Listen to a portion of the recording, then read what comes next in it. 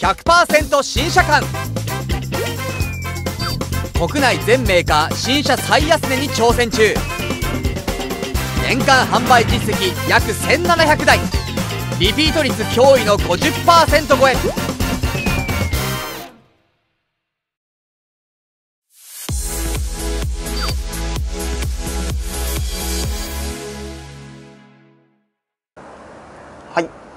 いつも新車館チャンネルご覧いただきありがとうございます。100%新車館加須インターチェンジ店の宮崎です。今日ですね、えー、マツダ CX8 お持ちいたしましてご紹介させていただきたいと思います。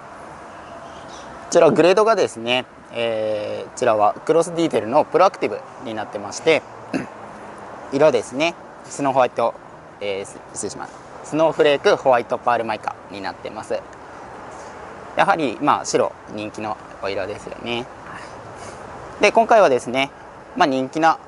グレード、えー、1個上なんですけどクロスディーゼルの L パッケージとの違いご紹介させていただきたいと思います。こちら、まあ、結構フロントはさほど大きな違いはないんですけどまあ皆さん見慣れたと思いますが CX8 の顔ですよね、はいまあ、オプションとかでいろいろ LED とかつけられるのでまあ、カタログ見てつけたい方とですねつけていただければと思います、はい、フロントこんな感じですね。サイドいきたいと思います。サイドですね結構印象違うところというとホイールになってます。こちらのアルミホイールなんですけど、まあ、19インチのもの入ってまして、えー、プロアクティブに関してはこちらの今のシルバー塗装になってるんですけど、えー、上のグレードだと、えー、ちょっと黒っぽい同じ形をしてるんですけどちょっと黒い塗装になってまして、まあ、下だ下にグレードちょっと下げると同じ、まあ、ちょっと黒い感じなんですけどグレーでちょっと違うホイールになってますのでプロアクティブに関してはこういうちょっと白っぽい感じのホイールになっているので結構イメージは変わってくるのかなと思います。で今回ですね、えー、プロアクティブにはえー、2つメーカーオプションつけられるものがありましてまあ1つは、えー、皆さんマツダでおなじみ BOSE のサウンドシステムですね。こちらが10万8000円でつけれるんですけどもう1つあすいません失礼します、えー、BOSE のサウンドは8万と1000円ですね。もう1つが、えー、パワーゲートですね。後ろのパワーゲートとこちらのルーフレールのセットですちらのセットが10万8000円です。失礼しました。こちらのセットが、10万8000円でつけられるようになってます。結構ルーフレールですね。やっぱり見ると思うんですけどまあこういうふうにシルバーのものがつきます。ありがとうございます、はい、で後ろ行くとこちらですね。ちらの CX8 のエンブレムもあり。で、えー、ちょっと開けるとメイクオプションでパワーゲートとルーフレールのセットついてますのでこれは。こちらこういうふうに簡単に開けられるようになってます、でまあ3列シートなので全部起き上がってると結構狭めになるんですけどこちらの紐引っ張るだけでこういうふうにですね。後ろから積み荷の部分からスペース広げることができますのでであと引っ張るだけでこれヘッドレストもちょっと倒れるようになってますので簡単にですねこういうふうに広くスペース作るようにことができますのでいくら3列シートという、まあ、倒すの少し面倒くさいかなっていう時もなく簡単にスペース作れると思います。でこちらですね。中の部分になってきています、はい、で坊主のサウンドがあるとこちらの左側ですねがスペース埋まっちゃうんですけどついてないとこういうふうに広く使えます。でこちらにですねこちらのタイヤパンクの修理キットもついてますのでもしもの時こちらであることを思い出していただければ嬉しいですね。なんで結構荷物とかもですね広く使えるのあの積めるのかなと思います。でちょっと2列目今倒してみますね。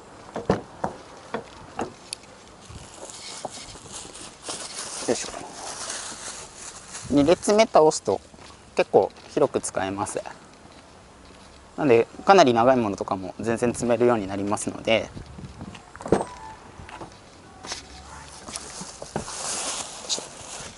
こんな感じですね。かなり広くやっぱり使えてると思います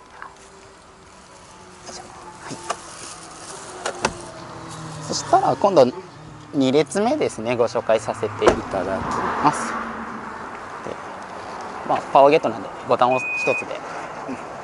ですね。こういうふうに閉めることができますので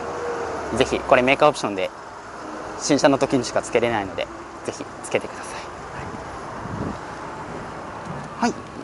で、えー、内装にですね。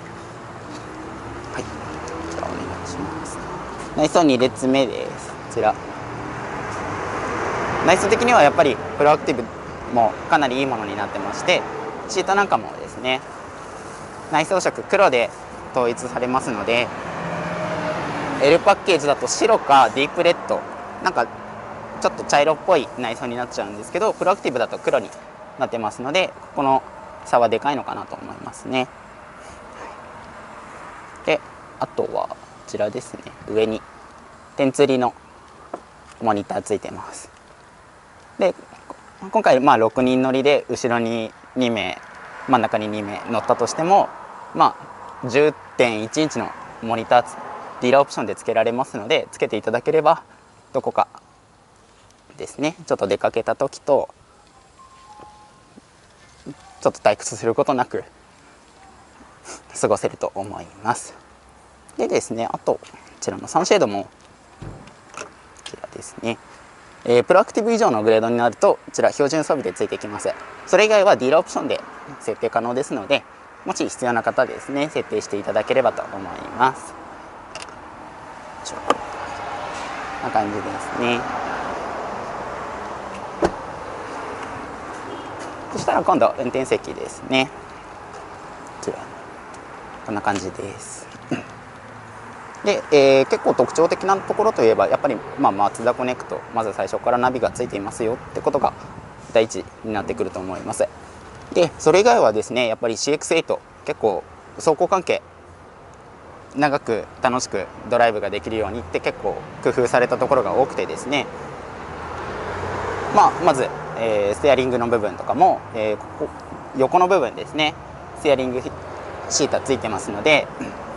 冬場とかも、えー、冷たいハンドルを握ることなく暖かい状態で運転できると思いますしでもちろんシートヒーターもついております、はい、こちらですねエアコンの周りにあります。でプロアクティブだと、えー、2列目のものはなくて前ですね運転席助手席のみになってますのでそこだけご注意ください。とあとはペダル等ですね。やっぱりマツダとかだと、えー、オルガン式になってますのでアクセルペダルが結構全然違うんですよね。オルガン式だとやっぱ足首に負担とかがかかってこなくて長くですね。運転できるようにこういうところも工夫されているっていう状態ですね。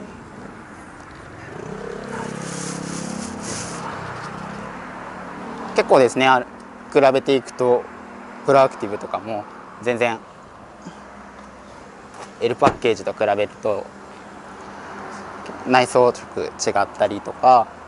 あとはちょっと装備がやっぱり少し少なくはなってしまうんですけどですね、結構価格が全然やっぱり違うので、まあ、ちょっと下げてでもこんなにいい装備がついてますよってことでちょっとご紹介させていただきました、はい、で結構ですね今納期かかる車増えておりますのでご検討の方ですねお早めに、えー、お問い合わせお待ちしております。本日はご視聴いただきありがとうございました。